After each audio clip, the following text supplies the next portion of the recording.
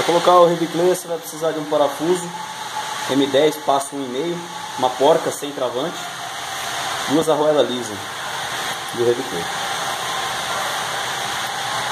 Coloca as duas arruelas lisas, coloca a porca ao contrário no parafuso, né? Coloca as duas arruelas lisas.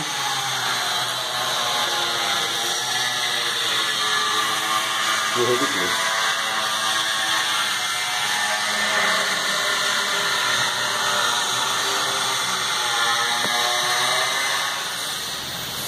Lubrifica com graxa para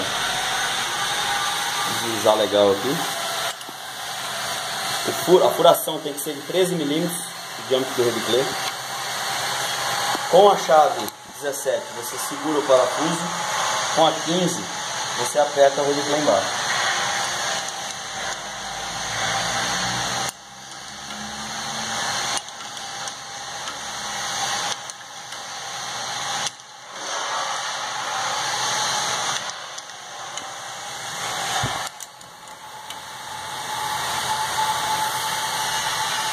Deu uma pressão legal aqui, você já pode soltar ele.